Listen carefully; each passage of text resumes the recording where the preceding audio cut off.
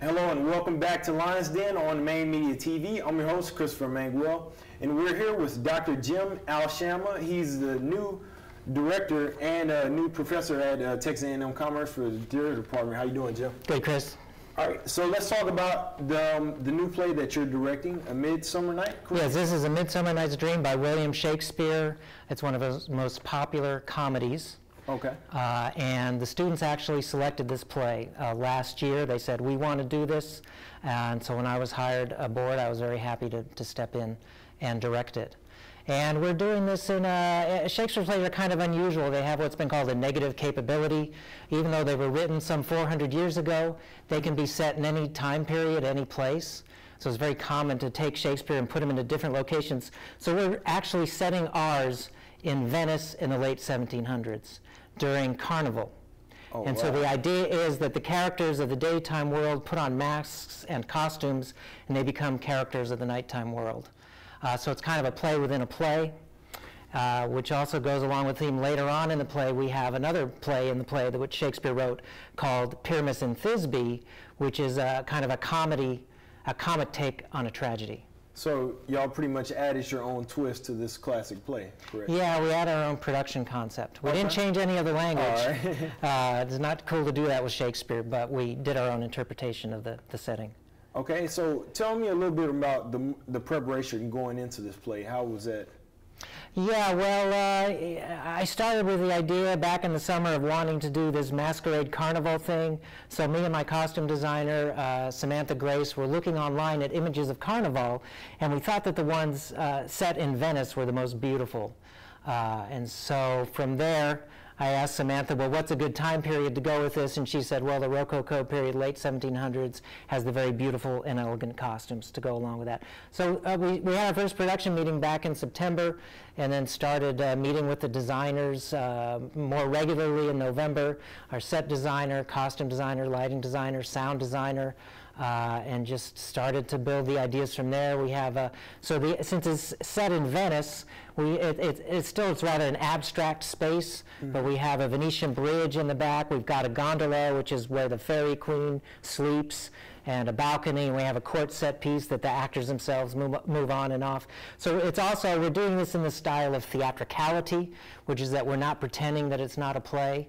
Uh, when we switch from the daytime to nighttime, for example, we have a sun and a moon, which our art director Sarah Scholl designed. As she she uh, did a, much of the design of the artwork on the set, working alongside Chad Pope, our set designer. So we actually have a sun and a moon, and you see the characters cranking them up and down with ropes to show the transition from the daytime world into the nighttime world. So students are going to be really surprised at how visually interesting the, the set is. I hope so. Yes. Yes. yeah. And so, so the play opens this week, correct? Yes, it opens tomorrow night. It runs uh, tomorrow through Sunday. It's at 8 o'clock Tuesday through Saturday, and then a 3 o'clock matinee on Sunday. All right, let's talk about some of the people that are cast in, in the play. Who are Okay. those people? Uh, well, Henry Okigbo plays uh, Theseus and also his nighttime counterpart Oberon. Cynthia Bean plays Hippolyta, who also becomes the fairy queen at night. Uh, Henry is a grad student. Uh, Cynthia is an undergrad. So we have a mixture of grad students. I'm not going to name the entire cast. Okay, no, Because we have close to 20 actors in it. But we have a mixture of everything from freshmen up to master's students. Um, and uh, they have brought a tremendous amount of energy. Not only are they performing on the stage, but then they've been going and building the set and the costumes, working till 3 in the morning sometimes Oh, to get this put together and done. There's a tremendous amount of passion. So students who come see this play are going to see that passion on the stage. Um, this is very much a physically staged production.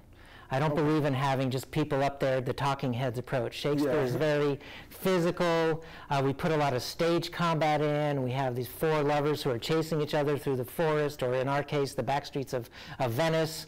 Uh, they're, they're tangling with each other, knocking each other over, slapping. Uh, so it's a very physical production. Okay. So, as a director, what has been one of the hardest things bringing this play to life, you would say? Uh, it's just that it's a big production, coordinating all the elements, making everything works together. But as, as I've said, the students and the students, student designers and faculty designers have, have really put a lot of energy into it. Also, handling Shakespeare is a special challenge because the language is more than 400 years old. There's a lot of words we don't use anymore. A lot of it's written in verse in iambic pentameter. So we actually did a week of rehearsal in December when we focused just on how to handle Shakespeare's text. And then when we started uh, working on the actual play in January, when we got back, we hit the ground running, and the, the, the student actors have really uh, taken hold of that and have done extremely well with it. Okay, and then y'all have the dress rehearsal tonight as well, too. Yeah, tonight is our preview night. We have a select audience coming in. We have an English class coming in who's studying Shakespeare. So we're going to have about 30 some people in the audience. And this gives the actors a chance to have a live audience out there to, uh, I mean, theater is really an interplay between actors and audience. No two performances are the same, and a lot has to do with the audience energy. And it also will give the actors a chance to see where the audience is going to laugh, how to hold for laughter, um, and get on their feet with that. And then finally, all the practice just comes to full fruition with actually performing as well. So Yeah, so I tomorrow y'all are night. excited Yes, very much about so. this. And so where can students get tickets at? Students can get tickets at the box office here uh, in the lobby of the Performing Arts Center. S- Student tickets are only $3 with student ID. Um, There's also, I don't have it memorized, but uh, if you've seen the posters around, you'll see there's a phone number you can call to make reservations. Okay, and calling the University uh, Playhouse. correct? Yes, and the box office is open in the afternoons from 1 to 5, Monday through Friday. Yes, sir. And not to take the light off the upcoming play, but any uh, future things in the works for? Yeah, we have, we, we have, uh, in late April, we have two one-acts that were written by students, one by a grad student, one by an undergrad, being directed by a grad student and the other by an undergrad. Uh, those will be in late April, so look for publicity to come out for Okay. those. Wow, that's a lot going on We keep busy. Yes, sir. Yep. So plug in that play one more time for everybody out there. It's a. Midsummer Night's Dream, opens tomorrow night, plays through Sunday uh, at 8 p.m. on uh, uh, Tuesday through Saturday, and a 3 o'clock matinee on Sunday. All right, Dr. Al, thank you so much for co- coming in and talking with us. And make sure you stay tuned to more Lions Den on Mane Media TV. We'll be right back.